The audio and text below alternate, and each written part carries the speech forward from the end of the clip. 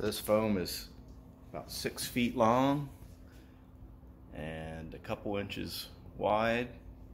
And I'm just gonna go ahead and mark this out and cut it. Okay, so I'm just gonna mark, is it being videotaped? Mm-hmm. I'm just gonna mark this.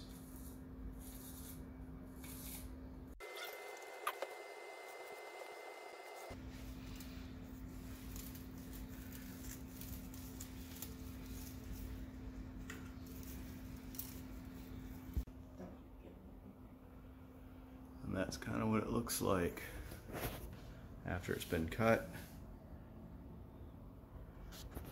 So you can see the original, this is black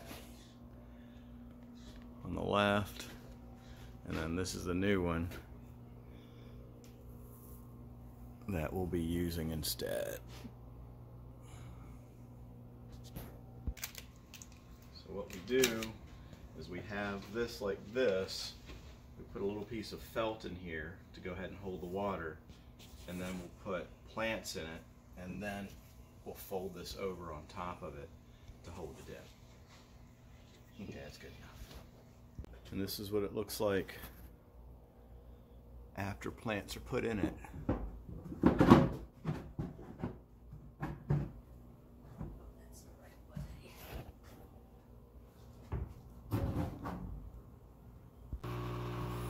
And the final thing with pump that's going to run water.